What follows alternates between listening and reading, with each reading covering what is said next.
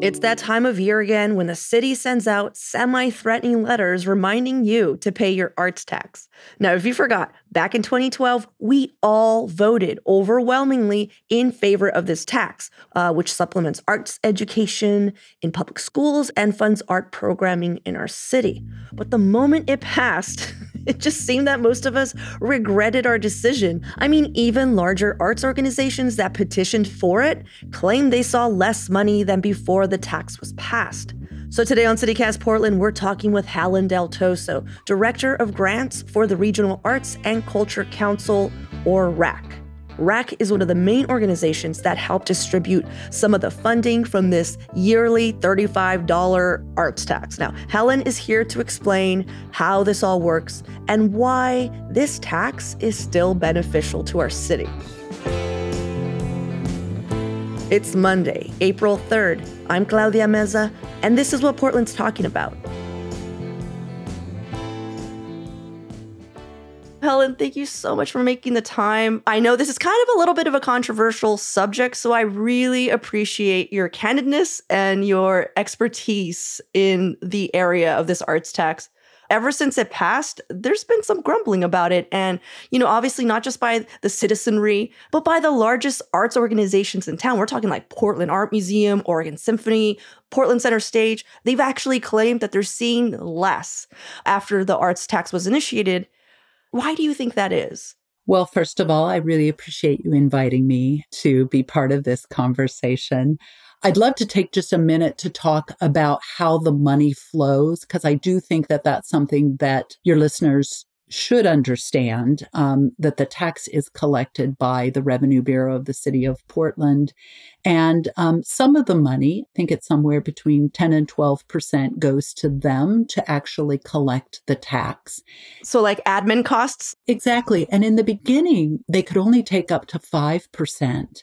And that's where the real struggles began, insofar as we weren't really able to get the kind of income flowing in that was promised. So, I think that's where some of the initial frustrations came from. Gotcha. When City Council gave the Revenue Bureau the green light to um, add a little bit of money in so that they could do a much more thorough job.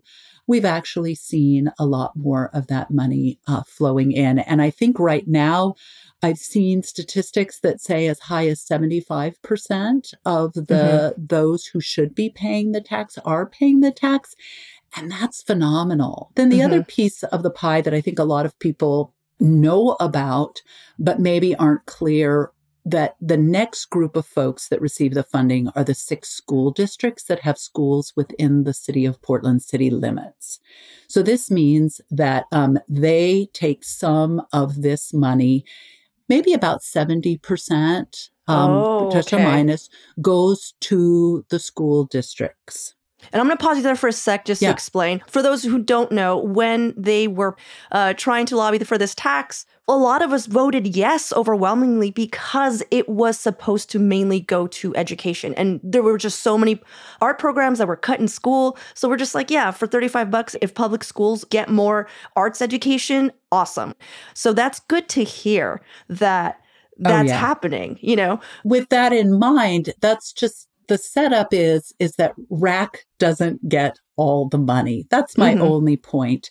And yeah. the money we do receive, for us, the timing of the tax coincides with RACC beginning to do a more concerted effort at equity work. So as the the fund began to build, it became clear to us that there were a lot of organizations that were not getting access to this money and that their constituencies and audiences and community members that they are serving also then might not have access to mm-hmm. this money. So the idea being, Claudia, if everybody is paying into it, how can RACC support this idea that anybody in any community has a chance of being able to access art near them and not necessarily have to come downtown or go someplace else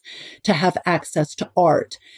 particularly in our fabulous system of neighborhoods and communities where a lot of arts organizations are and a lot of cultural organizations and entities that are representative and led by people from very specific racial communities, from the disability community.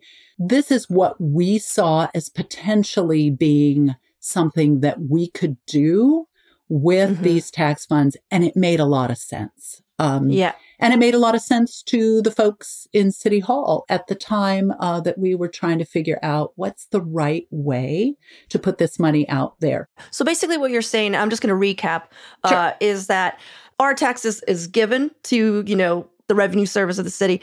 And they then take a little bit from it so they can pay themselves to continue going after people who are not paying the arts tax and uh, and also processing the funds.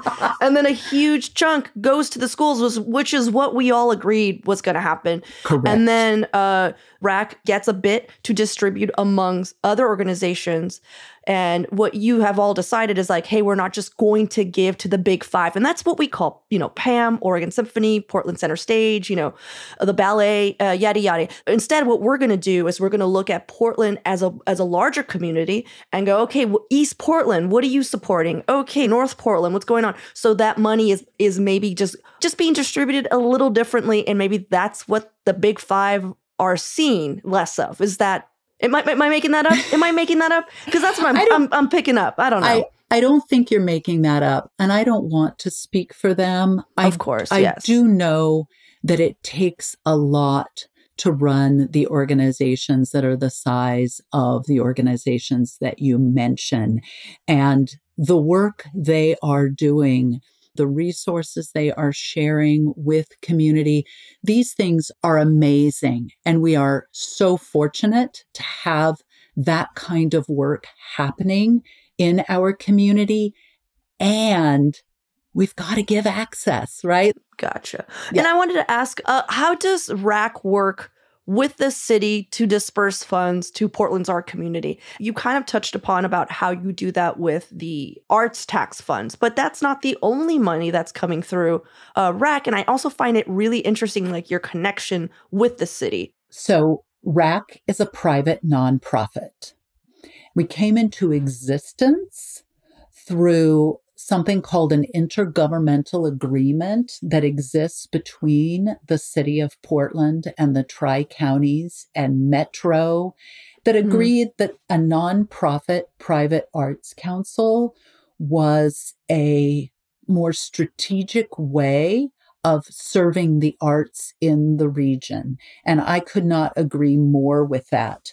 We can function we can move really quickly in terms right. of paying folks. We have processes, but they're not as onerous as I think what we see with, with in government.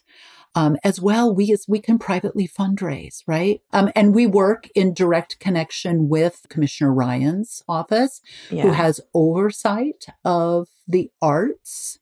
And we also work probably more closely with the City Arts Program, which was developed a few years ago as part of an audit that was done to support the city in thinking about what are the city's goals for the arts? What kind of a city does Portland want to be in relationship to its artists and arts organizations. Yeah, it makes sense. And when you said interagency, you just mean because it's county and city. Right on. Yes. Right. That's cool. correct.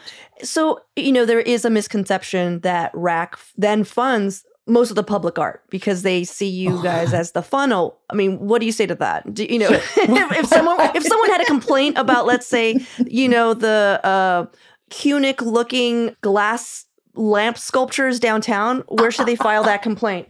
That's really a great question. So, public art is separately funded through something called the Percent for Art programs. And there's so not the arts tax, not the arts no, tax. arts okay. tax doesn't go into the public sculpture or statuary or monuments or anything like that. It doesn't clean graffiti.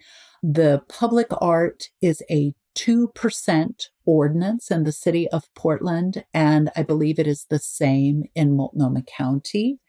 And we have team members that work at RACC, the Regional Arts and Culture Council, who manage public art processes. And they do so with the bureaus or community jurisdictions where the public art is going to be placed. And usually this is funding that comes off of the building of a new park or if a park is going to be changed in any way and there's construction associated with that. Mm-hmm. One of the ways that that 2% or that extra funding can be spent is in public art.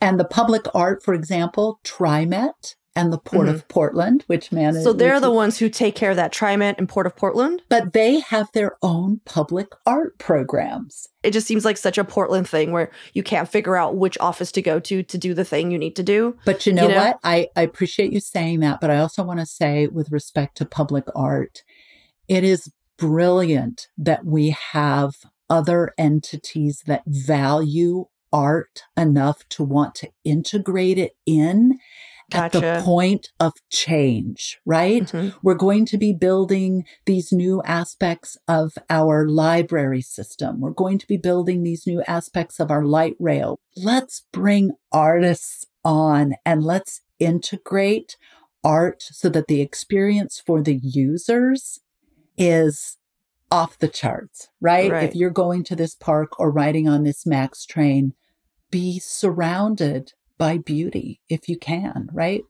And more people at the table can often generate more and interesting ideas. Like if it was all isolated in one spot, you might be seeing a lot of repetitive work being done and commissioned, and you don't because there are a lot of players who believe in the power of art in the public space. So, what I'm hearing is there's no centralized location. I would say that if it's related to the city of Portland and it is somehow governed by the city of Portland, then RACC will be the team of folks who will be supporting the design process for how the public art is selected.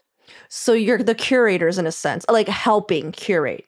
I would say they're kind of like program managers or project program. Okay, managers. Right? Okay. The effort is not to place something in a community that members of that community have not participated in the mm-hmm. genesis of that project. So, knowing all this, who do I go to write a uh, firmly worded letter about the baby face at Providence Park and the glass sculptures uh, in in Southwest? So, what I'm hearing, to, what what I'm hearing, Claudia, is those are not your favorite sculptures. Ba- a baby face at a soccer pitch. I don't understand. I just, I wish I just, I saw the connection. You know, like here's a, a, a like laughing baby, kind of scary. Mm-hmm. I don't. I mean, whatever.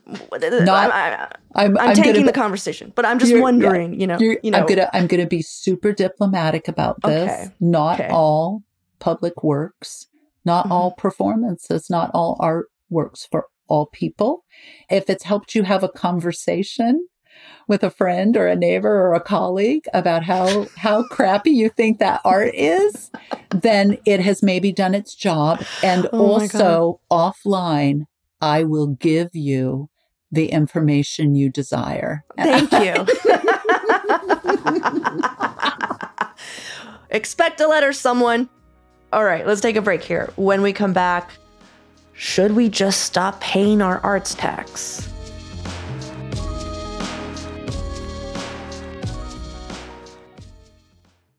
So, you've been working in the nonprofit art community uh, like way, way before the arts tax was even brought about. Uh, from where you're standing, what benefits has the arts tax brought to the Portland arts community? What do we have to show for it? So let me just give you a few statistics. Since 2016, over 20 new organizations have been able to see receive RACC general operating support. 2016 for me is when we really started to see uh, the money coming in in a way that we could open up our processes to more organizations. These are organizations that serve very different communities. Last year, we took in both Street Books and Friends of Noise. Um, oh, cool. For those who don't know, Friends of Noise is uh, an organization that is really actively trying to find all ages spaces for uh, the youth in Portland because there's not many all, all ages music venues. So that's awesome. They also train young people in sound design and set design for music shows, right? Mm-hmm. So they are allowing young people not only to have a stage to produce their own work, but also to learn the skills mm-hmm. that perhaps could could get them some pay. And that's coming from the arts tax. That's right. We were able gotcha. to take them in because RACC has more money to give. The other thing we were mm-hmm. able to do is to start a capacity building program. And there are 14 organizations that have been served through this particular program.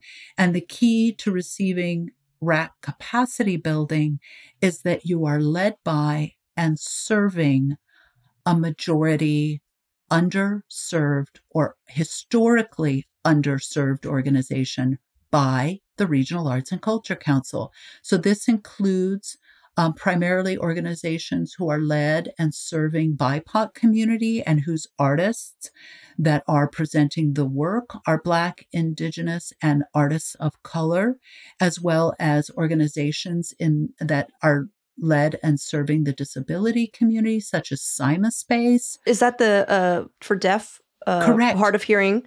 That place is amazing. It blew my mind when I heard yeah. about them. You know, all their suggestions that they're like, hey, if you have a venue, how cool would it be if you had something that vibrated so people who are deaf can feel the music? And I was just like, yeah, that That's right. sounds amazing. So that organization, and then another organization outside the frame, um, which does filmmaking with houseless and homeless youth. These are organizations that were able to receive some capacity building support. Capacity building support allows for an organization to receive a little bit of general operating dollars and some professional development for their team that's leading the work in mm-hmm. order to grow with intention their organization and make sure that they're meeting their mission. So these are things that weren't happening pre arts tax and allowed the Regional Arts and Culture Council to continue to move and, and feed other communities um, mm-hmm. that weren't frankly being being fed by the traditional more traditional arts organizations that we are serving through general operating support. So that's where the arts tax dollars are going. That's where some of the arts tax dollars are going. Before we go like what should people go or see or do right now that is art tax funded. For those who are just like still a little sore about the $35 a month, which by the way, I'm not speaking lightly of, even I who benefited greatly from the arts community is every every year I'm just like again, you know, but what should people go to to feel like they're getting a bang for their buck? That's a great question. So I would suggest any of our theater companies, uh, many theater companies, particularly Profile Theater, Red Door Project, these are organizations that are in conversation constantly with community about the stories that are being told and are working really hard to make sure that these stories are being told by the folks whose stories they belong to, right? Uh, another thing, you want comedy? Comedy in the park. Last year, we supported Kickstand Comedy in Laurelhurst Park. Oh, uh, you guys are behind that? Is wait, that's, that's our arts tax dollars at work? That's your arts tax dollars at work. Okay. People love that series. I love that series. Okay, well, that, okay, we're done. Sold.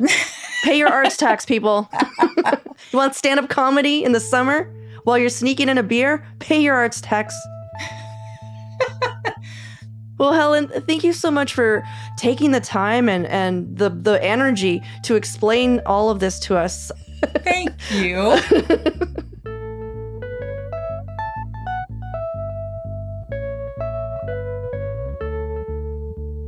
And now for your microdose of news.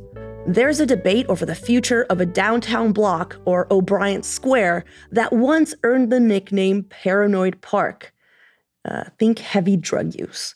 Now, this space is going to reopen for the first time in five years since the city fenced it off to make structural repairs to an underground garage.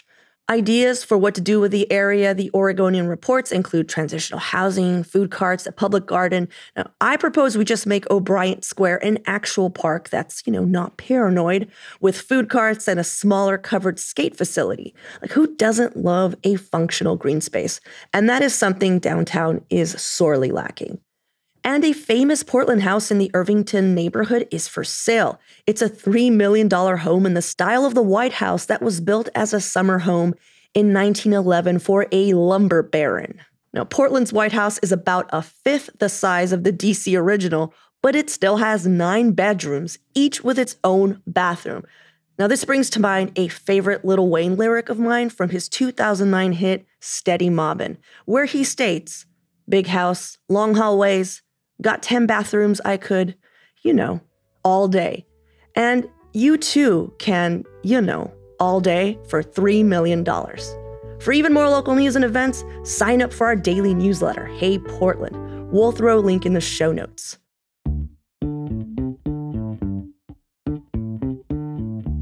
That's all for today here on City Cast Portland. If you're enjoying what we're doing, could you take a moment and just like rate or write a nice review on your podcast app? Uh, and a big thank you to all of you who have already done so. I can't explain how much joy it brings us to read nice words about the show. The entire Portland team is working really hard to keep this going daily, so we really appreciate it. We'll be back tomorrow morning with more from around the city. Until then, see you at Slim's.